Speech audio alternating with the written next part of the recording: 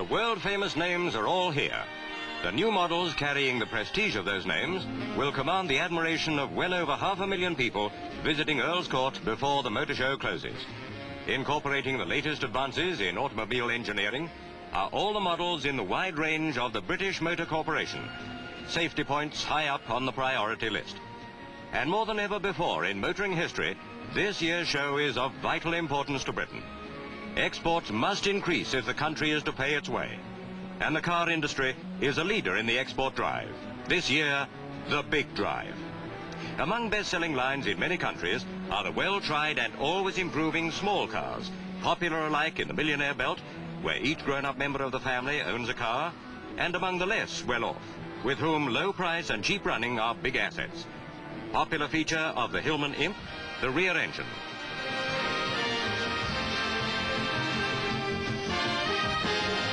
Another winner from the Rootes stable, the Singer Chamois Sport.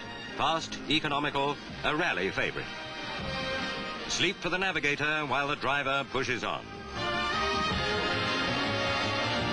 Another from Singer, the Vogue. New body style, new engine, new almost everything.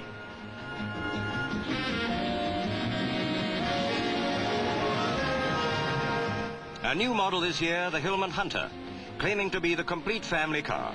As there are countless complete families all the world over, many with just the daughters to go with the car, the Hunter will sell well.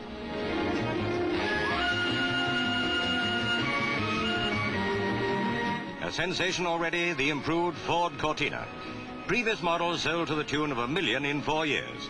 And as exports can be maintained only on the basis of a wide home market, all these wonders of the industry appeal in Britain no less than abroad.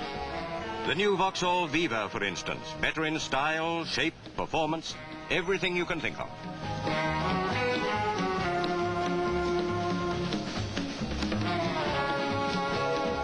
The Triumph GT6, a certain winner from the same stable as the Spitfire. Already large export orders have built up for this high-speed beauty, and the first six months' production will go to the USA. From Ford of Britain, the most luxurious car they've ever made, aptly titled the Executive. Based on the Mark IV Zodiac, it's a strong contender in the medium-priced prestige car field. Interior comfort is designed to cause it even the most hard-to-please successful businessman. Naturally, overseas competition at the motor show is key. The 365p Ferrari, with its centrally positioned steering wheel, is the brainchild of ace designer Pininfarina. It's claimed to be a major safety feature, affording the driver better all-round vision. But hand signals are definitely out. From Sweden, the Saab Sonett. Saab, with their famous international rally-winning success in recent years, are another company with big expansion hopes overseas.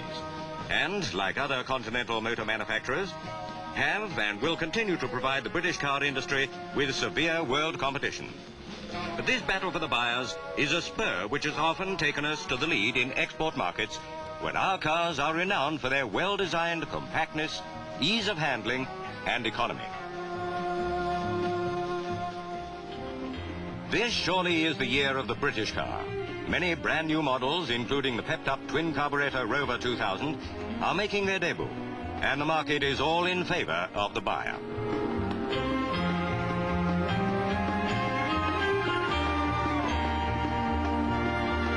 The Rover 2000 is one of the most successful British export cars of recent years. Its many safety features and advanced design have won it wide acclaim and demand outpaces production.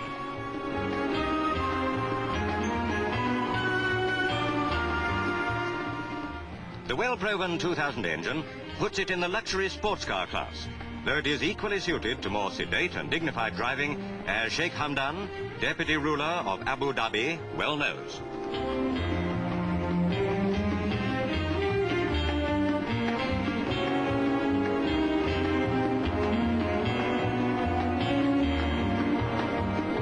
The new Daimler Sovereign caught the eye here of a connoisseur, Sir Gerald Nabarro, no less. A car with an honored name in a new version. Powerful, a great performer, not expensive for its class. Just a thing to whisk the gallant Sir Gerald into St. Stephen's Yard to impress other MPs. as always, the British automobile industry makes an impressive splash in the luxury field. Witness the Daimler's stablemate, the E-Type Jaguar, popular everywhere, across the Atlantic especially. What dollar earners the Jaguars have been and will continue to be. Like all our car exporters, they follow up sales with an unfailing after-sale service.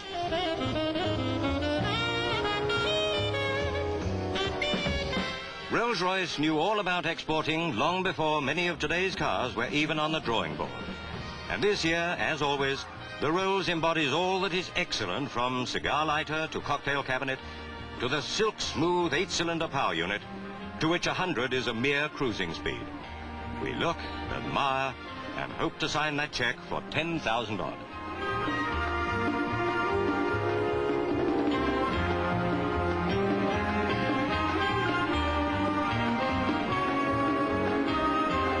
And that is the Motor Show 1966. Everything here contributes to the good cause of getting Britain out of the red. The automobile industry's export drive. This year, more than ever, the big drive.